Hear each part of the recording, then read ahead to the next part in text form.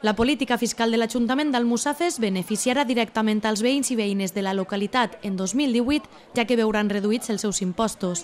La modificació de l'ordenança reguladora de béns immobles estableix una reducció del coeficient aplicat a l'IBI d'ús residencial, el que suposarà un important estalvi en el rebut dels contribuents. És una promesa electoral el continuar baixant l'IBI en el Musafes. Eh, ara mateixa pues, tenim el 0,42, anem a baixar-lo en les ordenances fiscals que acabem d'aprovar al 0,41 per, a, per a l'exercici de l'any que ve, del 2018, i pràcticament estem en mínims històrics, en mínims legals. A l'any que ve, si no passa res, eh, anem a baixar-lo ja al 0,40, que és el mínim legal que de coeficient que se pot tindre d'IBI al Musafes, en el cas urbà.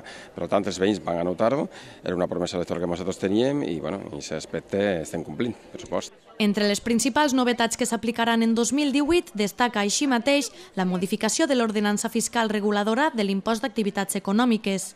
En aquest sentit, les grans empreses dels polígons industrials abonaran un impost major per la seva activitat econòmica l'any que ve, després de l'increment aplicat a l'índex de situació del 2,50 vigent al 2,85.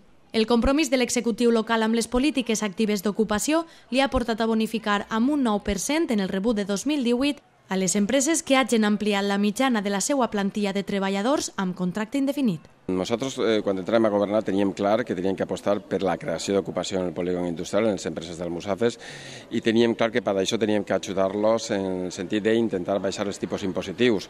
Durant els dos anys que pitjor ha estat la situació econòmica en les empreses, ho hem fet, baixarem del 2,85 al 2,55 i del 2,55 al 2,50 en l'exercici 2016 i en el 2017.